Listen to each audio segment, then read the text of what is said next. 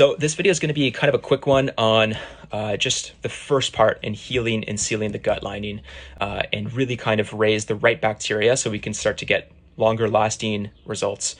And the first thing that we're going to look at is HMOs.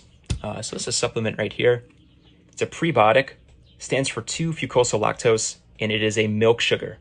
HMO stands for human milk oligosaccharide. Uh, this one is done by Layer Origin. They're actually the only company that I've seen to actually put out a good product and isolate the HMOs. Uh, but I guarantee you, within the next 10 years, there's going to be a lot of other companies following suit uh, to try to get this product out there. Because as we see, is like, hey, colostrum is the best way in milk sugar that we can use to heal the gut. It is definitely going to be HMOs. This is going to be a next step further. And again, it's going to start putting you 10 years ahead because you're going to see this rapidly increase over the years. Uh, I guarantee it. Uh, so, yeah, definitely support Layer Origin. They're ahead of the game uh, and they provide some good shit. Uh, really thank them as well because they put out a good product that has helped me reverse a lot of my just IBS and food sensitivities in particular. Uh, there is a protocol that we'll definitely cover after we kind of covered each supplement here. But the first one, of course, human milk oligosaccharides. Um, the reason this is important is because this is where immunity began in the gut. It makes up one third of all mother's milk. Super important for, for children. And the reason it's important is because wherever we see immunity, we see what's called glycans. Glycans are long chain sugars that are bound to a single protein. And what they do is that these milk sugars and these HMOs will start to bind to various pathogens and viruses found in the infant gut. And of course, our gut, if we start to take them. And they'll bind to E. coli, H. pylori, uh, human norovirus, all of these things that can be seen as, as threats to the infant gut. And of course, our gut currently. And what they do is that they bind to them, let them pass, and allow the antigens to do their work in the blood. So again, that's number one reason of why this is extremely important to focus on a strong immune system. Again, given a global pandemic, this is going to be a right choice. Uh, and there's also another reason too. So what we see is macrophages. Typically breaking down, it just means big eaters in the body, and they could be good or bad, right? So we want to steer them in the right direction, steer them towards an anti-inflammatory state. So to bring down inflammation, HMOs is going to be your best bet. And again, we're going to focus on two other things as well, but really what you want to focus on is bifidobacteria and akkermansia. These are the two main bacteria that will help recycle each other. And if we feed bifidobacteria correctly, we will start to improve butyrate transport. Uh, we will start to improve akkermansia availability in the gut, uh, and we'll start to feed all the other bacteria that exists within us. It's a trickle down effect.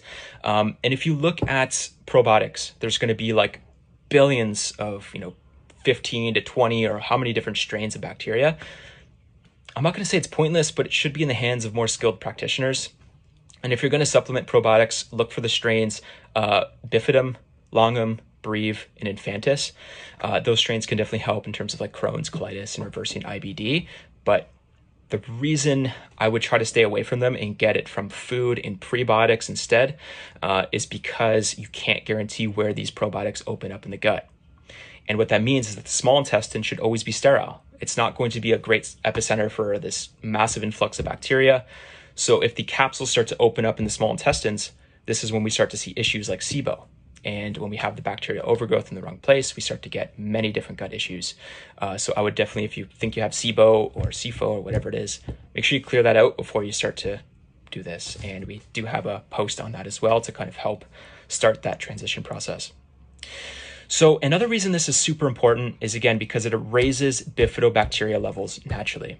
And what we see is that kids can eat whatever the fuck they want and be super energetic uh, and just not be phased by anything, just constantly go, go, go. So, bifidobacteria level and our energy levels are extremely correlated.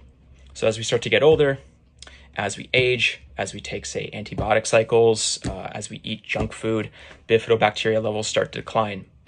And when this happens, we feel fatigued, we have leaky guts, uh, we have just bad skin, uh, whatever it may be, it does take the form and take the toll on our body in this case. So we want to raise bifidobacteria levels. HMOs will be one of the best ways to do so. And we'll start to notice, again, better skin health, better digestion and bowel movements.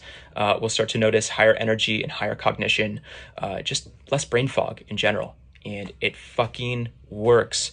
Uh, just by taking this, you are 100% 10 years ahead of the game I guarantee you that, uh, you know, people are still talking about probiotics and colostrum. Uh, just in about five to 10 years, you will I guarantee there will be everyone talking about HMOs and their importance too, um, as many companies are definitely going to follow suit. So start off with, uh, again, HMOs. You can use this to even reverse a gluten and lactose intolerance, which we'll cover in another page.